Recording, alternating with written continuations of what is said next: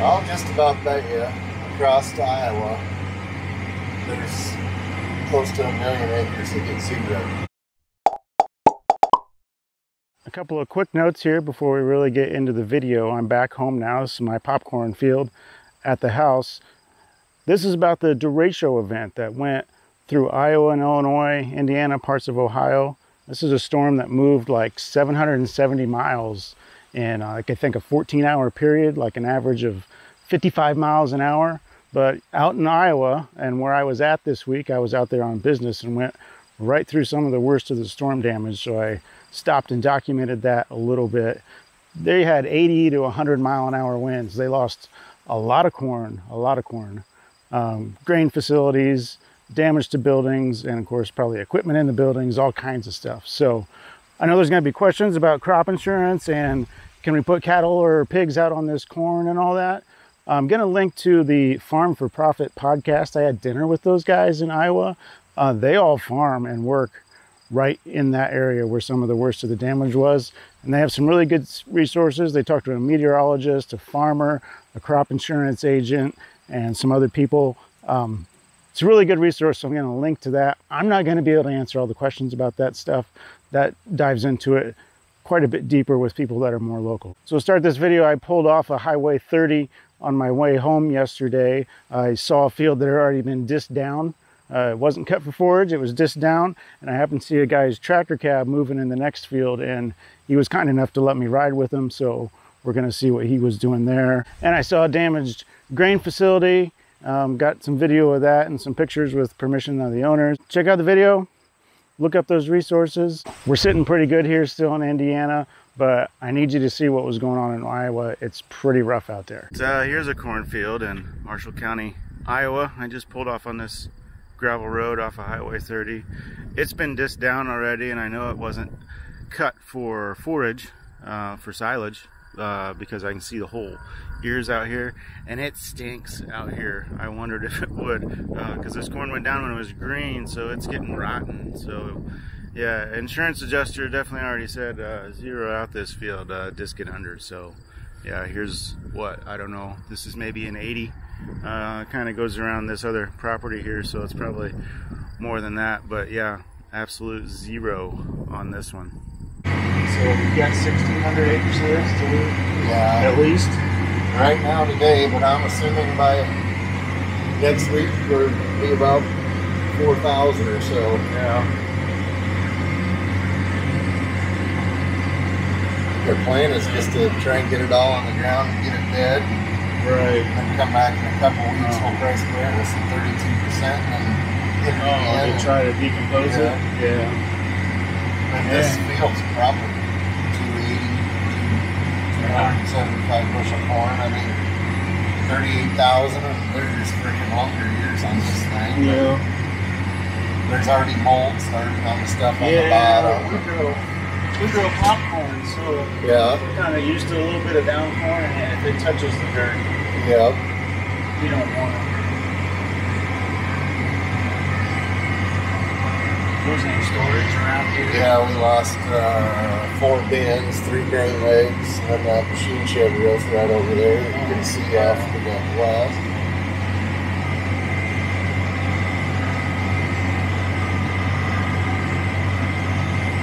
Yeah, that's no fun.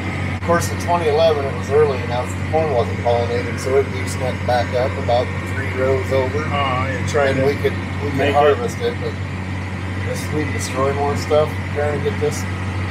oh yeah, just the what you do, the machines. Oh, the dirt that you run through it would just destroy them. You'd use a ton of fuel. Oh boy, creeping along. Yep. One thing we noticed yesterday when we were out with the adjuster, anything that's starting to die or whatever, it's just snapping off or pinching yeah. over about a foot off the ground. I've wondered about what are they saying about like fertility? Think there'll be people skipping a lot next year. Well, you know, I just talking to my guy that I get all my fertilizer from, and he was going to do a little research and see. You know, theoretically, we're not removing.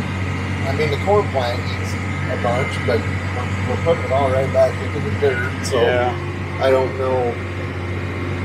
I don't know what we're gonna do fertility wise next year.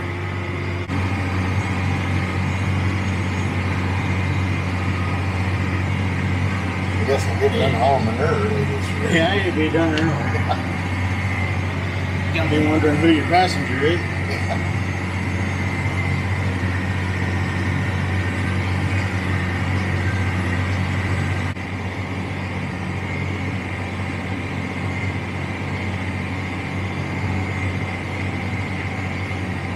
I'll just about bet you across to Iowa, there's close to a million acres that get zero Right. yeah. insurance. Yeah, everybody was floating around with 10 million like the day after. I'm like, Well, you there's- even had time to look at it. There's there's probably ten to twelve that some was kind damaged, damage. Yeah. but and that's just from the derecho winds. Well, at least a million of that's probably going to get zeroed, if not two. And then the rest of it's going to be at fifty percent reduction, Right. Yeah. even if it's got good value to it. sure. And then you get west of here, west and a little bit to the south, the droughts probably damage more acres than the wind did. Yeah. Well, and you're gonna what gets harvested. Probably gonna have quality. That's the and that's what the insurance company's worried about is combine machine that weighs forty five pounds. Yeah. And mean you can't can't get rid of it. And I asked him, I said, so what if we combine a bunch of that? He goes, Well, we'll settle with you on it, we'll just have to dig a hole and bury it. That'd be fun. Yeah. Yeah. Gotta go to all the effort just get rid of it. I was off on ice. The man let me ride with him. It's not any fun. So I told him what I was doing. He said, that's fine. Looked up the Facebook page while he was in the tractor. But yeah, this really sucks. So he said they've got 1,600 acres of corn like this that's been zeroed out by insurance out of, I think he said 4,600 and he suspects they might do it all by the end of it. So, yeah, this is is not fun. You got neighbors doing the same thing.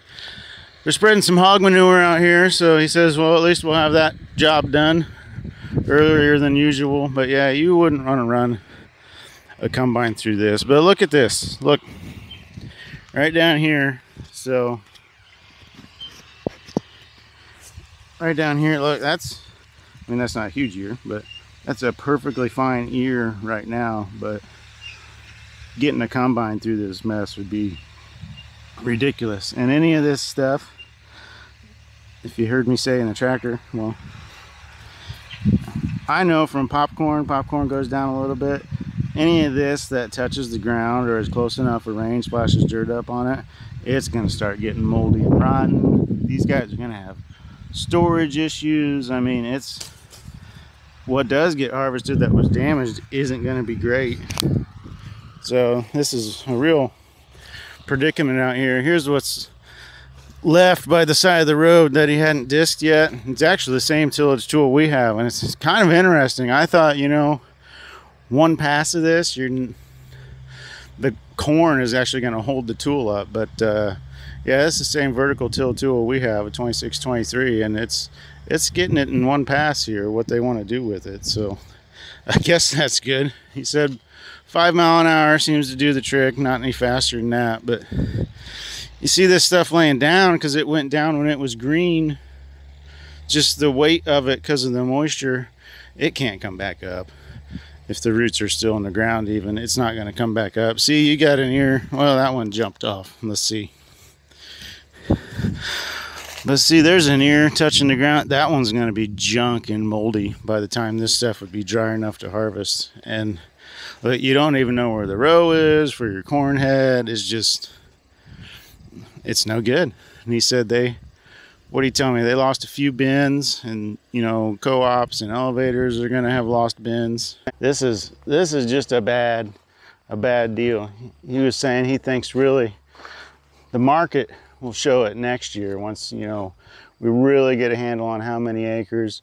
He thought there's going to be one to two million that was just going to be absolute zero, and then you know that 10 million figure that was floating around right after the storm. He says there probably is that much that's damaged. So some top end yield gone. Quality is going to be an issue with the stuff that does get harvested. So that's going to be tough. He was telling me uh, his insurance agent said they could harvest some, but if the quality's junk, you know, they'd end up measuring what they harvested and then uh, tell them to dig a hole and bury it. So I don't know.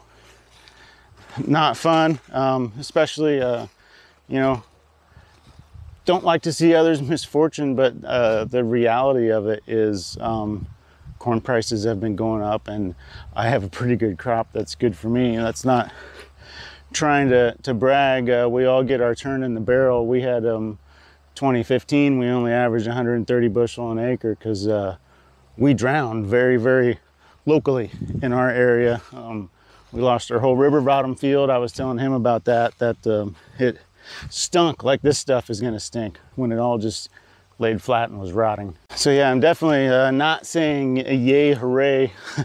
I'm gonna have better crop prices because of this, because uh, it'll be my turn again someday, that's for sure. This is awesome dirt though, I will say that. Very black, high organic matter stuff, and they're putting hog manure on it too. I better watch out. Just wearing my tennis shoes. I'm gonna step on that right there. So yeah, we go over here in kind of the bulk of the field. The leaves are ripped off, you know.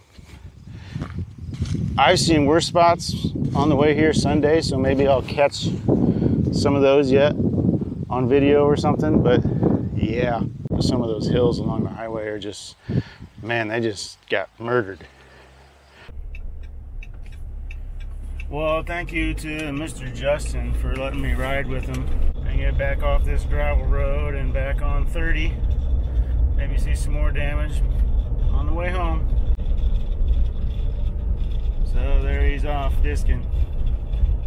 That sucks pulled off the highway again. There's another one in real bad shape. I'm uh, don't know exactly where I'm at. Still uh, just off of 30. Um, I think I'm on the east side of Marshalltown now, but this area is particularly bad. There's almost nothing standing up in these fields. These are really, really trashed. I'm gonna go around the corner up here because I saw a big grain bin crushed from the highway. So these guys had their whole grain facility destroyed here. Two bins wiped clear off their pads. There's one. There's the other one. Looks like they got maybe one of those paddle sweep, power sweeps. It's still sitting there. That bin's watered up over there this bin that's crushed in from the west side, they're loading corn out of it right now. So I didn't kind of expect to see that. I bet right where that bin is, at the bottom of that U, uh, where kind of the big dent is, I, I bet that's how much corn was left in that thing because it kind of, you know, had pressure on the inside, held against the wind, but the top, not so much. Well, here's a there's a guy wire, it's probably for the leg or something. The leg is leaning over there, I think, on the other side of the dryer. I could see the motor for the leg. Some fans and stuff laying around, but you could probably hear the uh, grain vac running on the other side, but this is all trashed. So yeah, if, if they do have a crop to harvest, they ain't storing it here this year.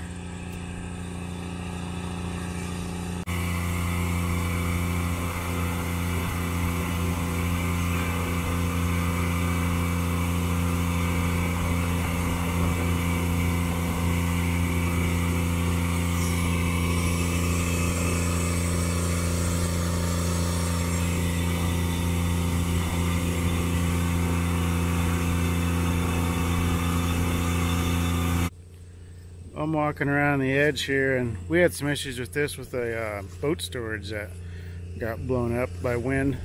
So they're gonna have debris out here in the field to deal with. Roof structure all mangled up. A mess. Well, those guys said I could uh, post a pic or a video of the bins, but uh, they didn't want to be on or uh, have any names or anything, so I definitely asked because you know all these farms out here they're in a tough situation. They may not uh, want the extra attention at the moment. They got enough to deal with, so I can certainly respect that. They're going to a thing soon. Senator Grassley's coming out. Uh, they own some other storage facilities. We're going to talk about that. And uh, Sonny Ag Secretary, is coming out uh, tomorrow, like he said. So uh, among the farming they've got to handle, uh, they get to talk to politicians too. Give them a first-hand account of what's going on. I know a little bit what that's like. We did that in 2012. We talked to one of the undersecretaries of Ag from USDA and had kind of a big media event one day out at the farm. So those guys are busy, so I'm not going to bother them any longer. I'm going to head on home. Uh, there's an excavator over there tearing down that Quonset hut or whatever you want to call it. Uh, here by this field, there's a couple pieces of debris in the side ditch from stuff blowing around. But how well you can see, that cornfield over there or over there. It's just garbage. That's all I can say. This hilltop here on the other side of the truck, it's just flat. It's just gonna rot, ferment on top of itself. That grain is too wet to harvest. So by the time it dries down, it's going to be rotten and junk. You're not even going to be able to really pick it up with the corn head anyway. So a lot of this is going to be a zero on insurance so they'll get some money out of it it won't make them whole but it'll it'll be something for sure and i'm telling you we had 60 acres of corn like this that went down when it was mature not when it was green and yeah that's it's hard on your equipment if you run a combine through this you're going to be running all kinds of dirt through it. Uh, we were picking up rocks with the corn head because we were running it so low. That's not something you want to be doing. Um, so the fields that do get harvested, that don't get zeroed out, that equipment's going to take a pounding. It's going to take more fuel. There's going to be more repair costs. It's going to take more time. So even the stuff that does get harvested, um, there, at some point you you probably uh, would rather not harvest it than harvest it. Just um, because of the time and effort and cost that'll be involved in it. So, yeah, there's a building getting destroyed. Maybe I think the planter was maybe in there because it's pulled out. But uh, yeah, more destruction in Iowa. Here's a good spot if you want to call it that to see some damage. I'm just a couple of hundred yards off uh, Highway 30. I'm a bit west of Marshalltown uh, the sign there says 240th Street. So facing west here, and that that is just a tangled mess. You can't do anything with that. Sorry, it's just it's because it's green. It's it's not able to come back up, and they were really droughty here too to an extent. And like at the Farm Progress show where I just came from, um, man, it was dry out there. Huge cracks in the ground. Uh, I heard they only got like half an inch of rain with this big storm, so that didn't help either. And this stuff is just green and wet and heavy. It's laying on top of itself. It can't come back up. So now if we turn around, then we're on the downhill side. Then we got the the road here, and just I was saying these hillsides these kind of um,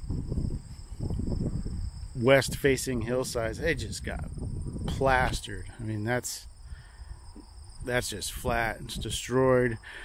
What is very little standing up um, the leaves are all tattered you know it's lost a lot of its photosynthetic ability. So i know um, those of you that don't you know understand how corn grows and how it gets harvested, I mean, this just is not going to work. That's why um, talk about insurance being zeroed out. That doesn't mean they're getting zero payment. They are going to get something, but that means okay. Uh, insurance adjuster came, looked at the field, like, yeah, just this one under this. You're not going to get a, a crop out of this. Um, the best route to go is going to be to just destroy it, unfortunately. So yeah, this field behind me is is in really bad shape. This is probably going to be another one of those zero ones. Uh, the guy that told me he was going to be working under 1,600 acres out of, I think he said 4,600. He thinks there's going to be more of it zeroed out. Um, it's going to be another thing. It's going to take the adjusters time to get through all this. There's a lot of acres affected here. We're talking like 10 million acres. Not all 10 million is like is like this, but there's some extended damage. Uh, look at that hillside. Just absolutely flattened. No good corn out there. More junk corn. That's probably the flattest one I've seen. Small field, but it's pretty bad. Some more really flat corn. A little bit of beans. And then we got a blown away tool shed and a destroyed grain facility. Another one totally messed up. There's some pieces of grain bin out there too from the farm right on the other side of this field. So, more fun. Robot siding mowing at City Tractor. Little steel robo mower. Onions on I-80 right at the I-80 truck stop. Note that this corn went down on August 10th. If it had been a month later, it would have been nearly mature, if not already fully mature. So that makes a big difference on how much is going to be harvested because since it went down in August, it's not going to mature correctly. There's going to be issues there. And check out that Farm4Profit podcast. They're going to do a second episode because they've learned some things like yes, it could be grazed or chopped, but no, if the insurance company zeroes it out, you can't harvest it and sell the grain. So check that out. Thanks for watching.